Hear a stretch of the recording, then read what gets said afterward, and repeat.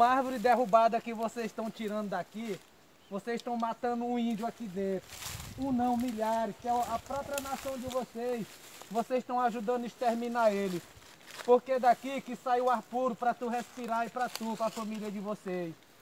Cadê que na terra de vocês tem floresta? Lá não tem floresta, lá não tem caça, não tem fruto mais. Não tem ar puro para vocês. Vocês não conservaram, né, cara? Vocês destruíram tudo que é de vocês. E agora estão querendo acabar com o que é nosso, que é do indígena.